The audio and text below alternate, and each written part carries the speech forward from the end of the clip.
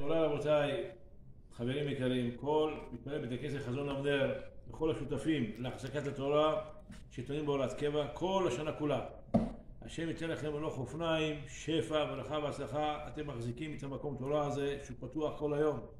כל עמי האזור, כל התושבים מתפעלים מגודל הנדיבות לב של העדה שלנו, של החברים, המסייעים בקודש, שטוענים בהוראת קבע כל חודש למקום הקדוש הזה, בית כנסת אבו חאלם, כאן חזון אבנר. וכל המסייעים בקודש שסייעו עבור תפילה ביונתם, יסופוב ולרי, יסופוב סימון שמחה, יסופוב אליהו, איציק עמנואל, מלוקנדו מנחם, מיכאל דוידו, סימנטור ארתור, ישחי ודוד, בנימין אליהו, דוקטור, גנדי מירצקי, מרדכי ומשה, יעקב מלוקנדו, יעקב זבולונו, אברהם זבולונו, אור אל שושקוב, ברוכוב איגור, ראובן אגדי, יאיר, מעודה, ביטון, טור דקר, גדעון, יורגאי ורפאל, בן ישמעאל, יעקב בן לאה, יהודה בן סימה, גבריאל בן אל טוב, סוניה בת ליזה, תמרה בת בלור, רפואה שלמה, צבטה בת תמרה, יהוג הגון, בנימין בן אליטה, רפאל בן פלורה,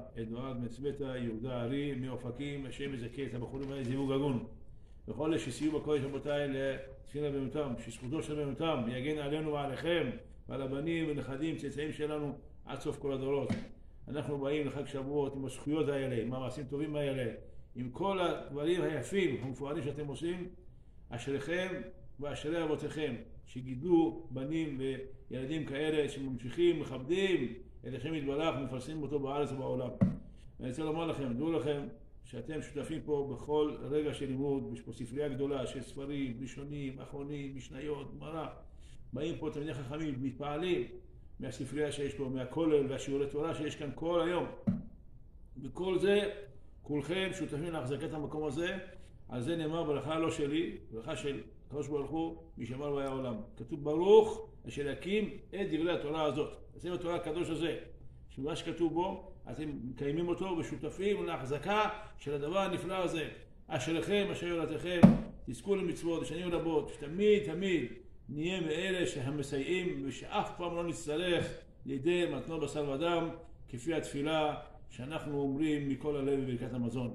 זו ברכה מאוד מאוד גדולה, שלא נצטרך לידי מתנות בשר ודם. אמן, כן יהי רצון.